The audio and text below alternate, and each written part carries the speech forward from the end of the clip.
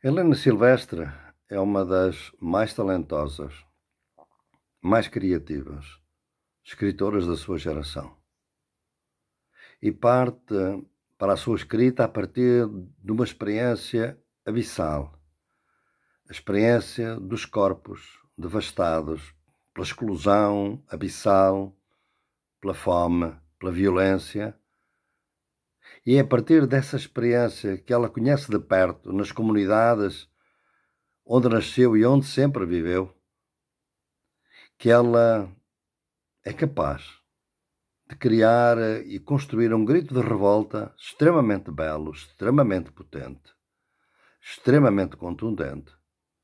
Essa revolta contra todas as identidades científicas, políticas, epistemológicas, até etnorraciais e sexuais. Tudo o que é abstrato não conta quando se fala do corpo.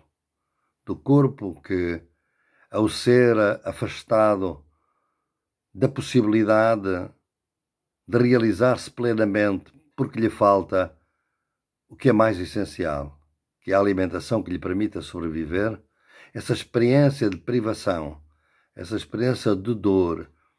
essa experiência de exclusão é de uma potência extraordinária e ela ocorre no corpo.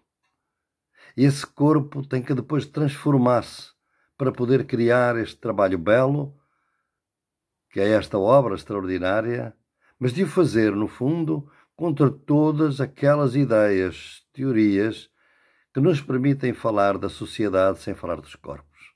sem terem atenção o que os corpos sofrem, o que os corpos passam para poder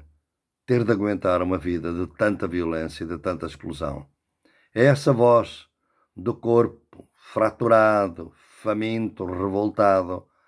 que vem com enorme beleza nesta obra, que é de si já uma obra extremamente bem conseguida, mas que vai dar origem a muitas outras Estou absolutamente certo disso. Um abraço à escritora e à organização da feira e do festival que a querem dar a conhecer cada vez mais no Brasil e no mundo.